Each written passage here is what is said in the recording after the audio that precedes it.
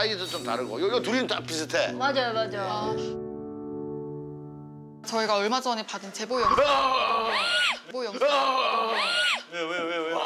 왜 왜 왜 왜? 와, 이게 뭐야? 우와, 이렇게. 어이구야. 어이구야. 아니, 이게 얘네들이네 다.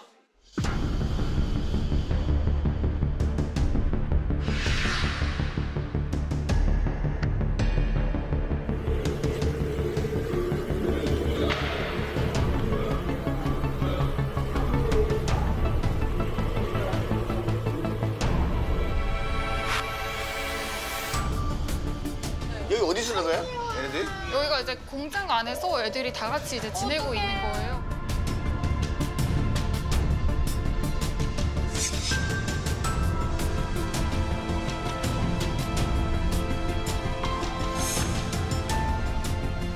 어 애기도 있어.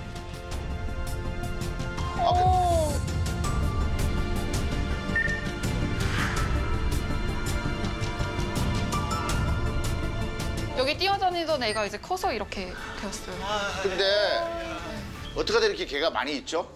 사실은 아저씨가 옛날에 네 마리 강아지를 구조를 한 거예요, 유기견들을.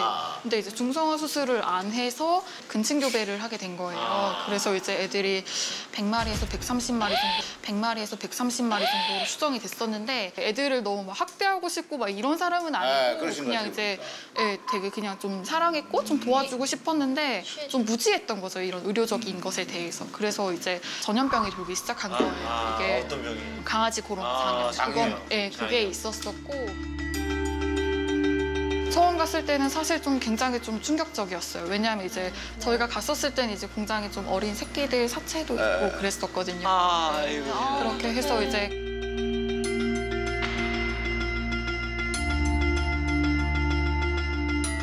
그래서 앨범 이렇게 눈도 못 마주치고 되게 좀 사람이 좀 무서워하고 예, 그랬었거든요.